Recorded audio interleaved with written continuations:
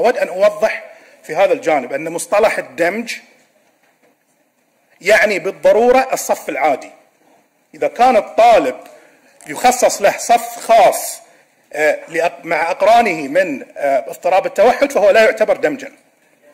وبالتالي الدمج يتم في الصفوف العادية. ولكن متى يتم الدمج معالي الرئيس؟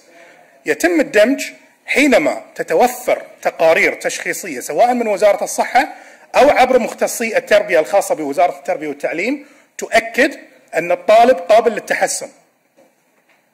لأن أحيانا الدمج قد يشكل خطورة على الطالب إن لم يكن قابلا لذلك.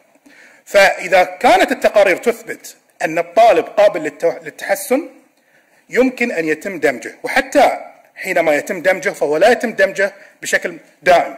يخضع للمراقبة والملاحظة لمدة أسبوعين إلى ثلاثة أشهر.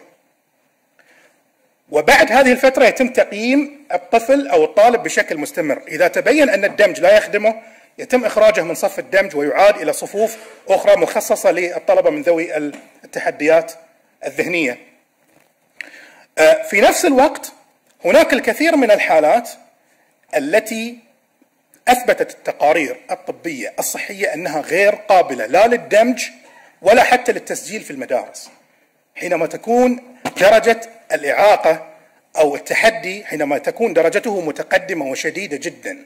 في هذه الحالة ليس المطلوب أن يقدم التعليم للأمانة للطفل. المطلوب هو أن يتم رعايته وحمايته. في هذه الحالة يتم توجيه ولي الأمر للتوجه إلى المراكز الأهلية المختصة برعاية الأطفال من هذه الفئة. لأن وجودهم في المدارس قد يشكل خطرا عليهم مع وجود العديد من الأطفال والطلبة ومبنى كبير في الواقع وبه سلالم وبه فصول وبه مرافق.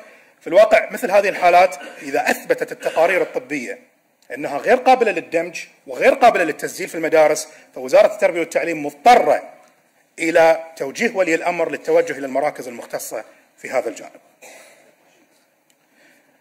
أيضا معالي الرئيس إذا أثبتت التقارير الطبية أن الطالب قابل للتسجيل في المدرسة ولكن لا يمكن دمجه. في هذه الحالة تسعى وزارة التربية والتعليم قدر الإمكان إلى توفير الفصول المخصصة لهذه الفئة.